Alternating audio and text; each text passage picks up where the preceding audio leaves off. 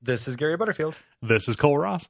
and this is Monster in My Podcast. And these are the Thralls of Cthulhu. There's a monster in my podcast. Uh, kind of rhymes, Thrall and Call. No, these guys, they're priests and uh, just adherents to Cthulhu.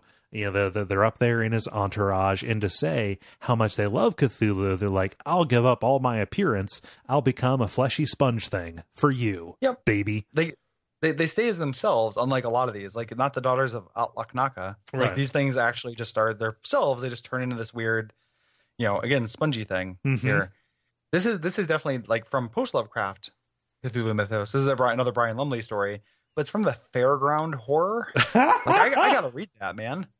Like Yeah. like those compilations of all the Cthulhu things, like like da, da, da, you know, I don't know what what how the fairground plays into this. See, here's the thing, though. I wonder if it's like a carnival thing because when I hear fairground, then I think of the only time I ever go to a fairground, which is you know for a you know carnival kind of thing. Um, Yeah. It could also be like you know the you know A the- swap the- meet. Yeah, like like a Yeah. swap meet. Um, uh, lots of estate auctions happen at fairgrounds yeah, too. yeah. Uh, livestock horror at the judging. estate sale does not sound like a good. know, Although an estate sale does sound like a setup for you know finding an artifact that would take you. thing, yeah. Um, the uh, I love the the text of this when I talk about it, where it's like you know it's one of his friends, which or somebody he knew. Mhm. Uh, the thing that had been his brother, you know, which now where the top of his head had been, wore a cap of writhing white worms of finger Hmm. thickness, like some monstrous sea anemone, uh, sucking vampirishly at the still living brain. Mm. That's good. Pretty good. Yeah. See, I don't know why you would want to become one of these. Like, you do get uh, additional stats. You seem so much more fragile, and also you have to have somebody like just uh, like um, sponge bathing you the entire time because Well, you got that skin membrane kind of thing.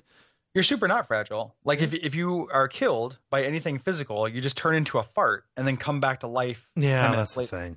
Like fully reformed. If you die from magic, then you die. Yeah. And as you get older, you can only reform if you're submerged in salt water. Uh, But then that's as- eventually as- you, you retire to live beneath the sea. yeah, and Yeah. you just go and you, you probably are serving the deep ones who have to serve the star spawn, who have to serve the watchers. Yeah, I know. Out of the You way, know? out of the way, old man. When Yeah, you say not- when, you say you turn into a fart, uh, you- you're really underselling it. When you die, you turn into a cloud of gray, foul-smelling gas. Yeah, yeah. You literally like turn into a fart that then reconstitutes. Yeah. Like your punishment for dying is you have to live as a fart for a short time. Yeah, I, I guess I just pi- I picture these guys having the consistency of wet bread.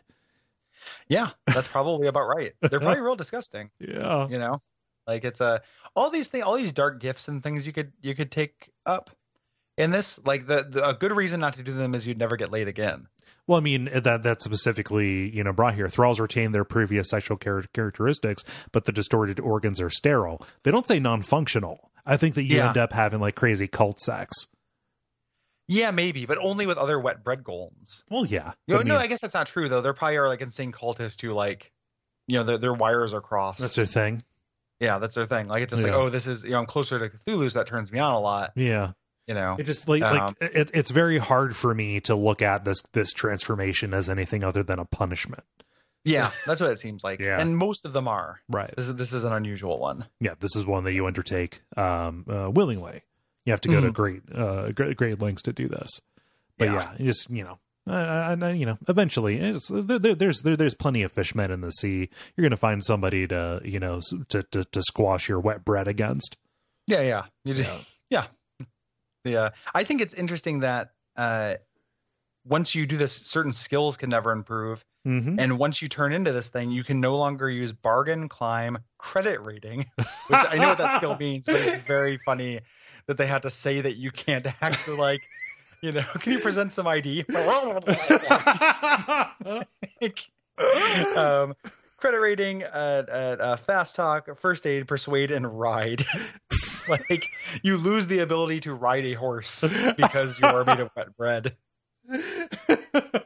Very funny. I guess being poured into a saddlebag is not riding. So.